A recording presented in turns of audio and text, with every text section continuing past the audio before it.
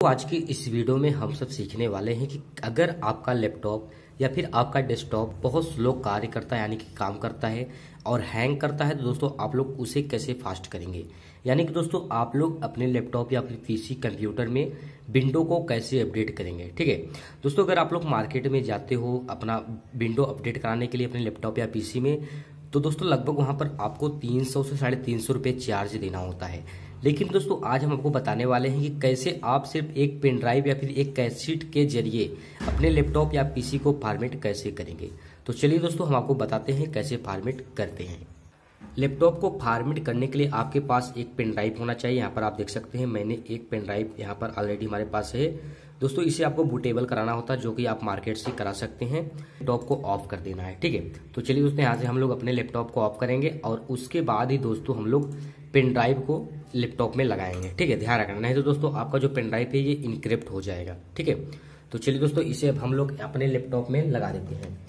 अब इसे दोस्तों, जैसे ही हम लोग अपने पेन लैपटॉप में लगाते हैं, उसके बाद कीबोर्ड पे आएँगे। ये देखिए दोस्तों, ये जो लिखा है ई एस ये देखिए ई एस सी इसको आपको प्रेस करना है। ठीक है? लेकिन उससे पहले आपको अपने लैपटॉप को ऑन करना होता है। ठीक है? दोस्तों लैपटॉप में पेन ड्राइव लगाने के बाद आपको अपने लैपटॉप को ऑन करना है और उसके बाद दोस्तों, जो आपको यहाँ पर मिलता है सबसे ऊपर का बटन इसको प्रेस करना है, ठीक है? इसको दोस्तों ऐसे प्रेस करते रहना है। आप ऐसे जैसे इसे प्रेस करेंगे तो ऑटोमेटिक आपके सामने एक नया ऑप्शन आ जाता है। अब दोस्तों, यहाँ पर आप देख सकते हैं, आपके लैपटॉप पे कुछ इस प्रकार का इंटरफेस ओपन हो जाता है, ठीक है?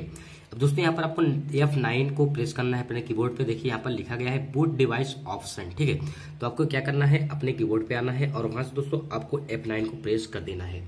जैसे दोस्तों आप F9 को प्रेस करते हैं तो यहाँ पर आप देखेंगे note e book hard drive ठीक है? उसके बाद इंटरनल सी डी डीबीडी अगर दोस्तों सी डी डीबीडी से आप फॉर्मेट कर रहे हैं तो आपको दूसरे नंबर पे क्लिक यहाँ पर आ जाना है। देखिए, ध्यान रखना, आपको इससे इससे प्रेस करके आना है, ठीक है कीबोर्ड से, ठीक है? तो यहाँ पर आप देखिए दोस्तों, आपको आ जाना है एच जैसे कि हमने यहाँ पर एचपी का जो है पेन ड्राइव यूज़ कर रहे हैं तो एचपी पे आकर के इंटर को प्रेस कर देंगे, ठीक है? जैसे ही दोस्तों इंटर को प्रेस करते हैं तो यहाँ पर पूछा जाता है प्लीज़ एनी की पुट ठीक है? तो दोस्तों यहाँ पर आपको कोई भी एक की को प्रेस कर देना है, ठीक है? अब आपको थोड़ा सा वेट यहाँ पर कर लेना है। तो दोस्तों यहाँ पर आप देख सकते हैं, आपके सामने कुछ इस प्रकार का इंटरफेस ओपन हो जाता है। इससे पहले दोस्तों, आप जैसे ही कोई प्रेस यहाँ पर बटन करते हैं कीबोर्ड से तो वहाँ पर आता है विंडो लोडिंग फ़ाइल, ठीक है? अब दोस्तों, यहाँ पर आपको मैं बता दूँ, यहाँ पर आप देखेंगे सबसे ऊपर आपको इंग्लिश लैंग्वेज मिलता है।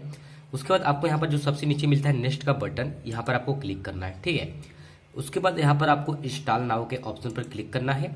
जैसे ही आप इंस्टॉल नाव के ऑप्शन पर क्लिक करते हैं तो यहाँ पर देखेंगे सेटअप इज़ स्टार्टिंग ठीक है? आपको यहाँ पर लगभग 10 से 15 सेकंड का वेट करना होता है।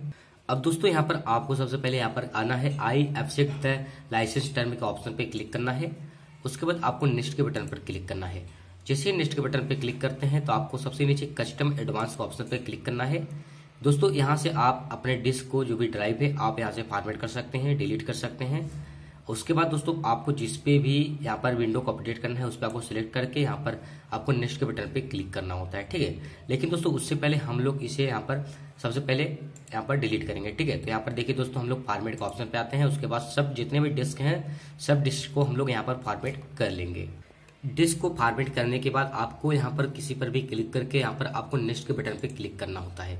जैसे ही आप नेक्स्ट के बटन पर क्लिक करते हैं तो यहाँ पर आप देखेंगे इंस्टॉलिंग विंडोज़ का ऑप्शन आ चुका है। अब दोस्तों, यहाँ पर आपको लगभग आधे घंटे से पंद्रह मिनट का वेट करना है। ये दोस्तों, जो सौ परसेंट होगा, ये भी सौ परसेंट होगा। यहाँ पर जितने भी दोस्तों, सब सौ परसेंट होंगे, ठीक है?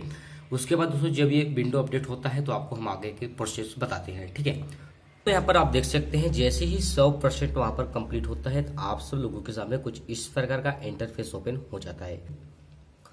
अब दोस्तों, यहाँ पर आपको मिलता है विंडो सेवन अल्टीमेट ठीक है? तो सबसे पहले यहाँ पर आप लोग अपना फ़र्स्ट नेम यहाँ पर लास्ट नेम फिल करके यहाँ पर नेक्स्ट के बटन पर क्लिक कर लेंगे। अब दोस्तों यहाँ पर आपसे पूछा जाता है सेट योर पासवर्ड अगर दोस्तों आप लोग अपने लैपटॉप या पीसी में पासवर्ड रखना चाहते हो तो यहाँ पर दोस्तों आप लोग पासवर्ड भी सेट कर सकते हो। यहाँ पर दोस्तों हम पासवर्ड नहीं रखना चाहते तो हम यहाँ पर नेक्स्ट के बटन पर क्लिक करेंगे।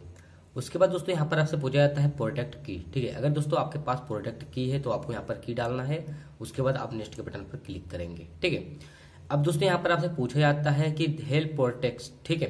यहाँ पर दोस्तों जो यहाँ पर अपडेट आते हैं, वो अपडेट ऑटोमेटिक हो या फिर आप जब चाहे तभी अपडेट हो, ठीक है? तो यहाँ पर दोस्तों हम लिखे, यहाँ पर कर देंगे एस मी लेटर ठीक है? उसके बाद दोस्तों यहाँ पर आप लोग अपना टाइम जोन सिलेक्ट करेंगे, ठीक है?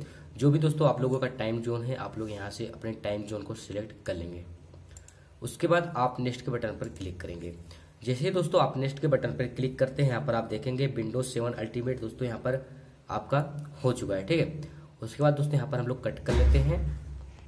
तो दोस्तों यहाँ पर आप देख सकते हैं, आप लोगों का लैपटॉप एकदम दोस्तों हो चुका है विंडोज़ सेवन में, ठीक है?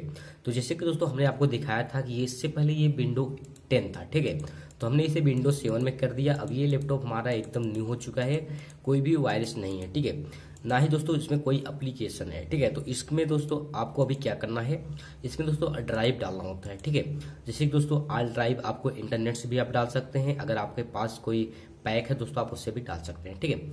तो दोस्तों, कुछ इस प्रकार से ही आपको कहीं पर भी जाने की आवश्यकता नहीं हुई। आप अपने घर पर ही बैठे ही अपने सिर्फ़ एक पेन ड्राइव की मदद से अपने लैपटॉप को विंडो में अपडेट कर दिए, ठीक है?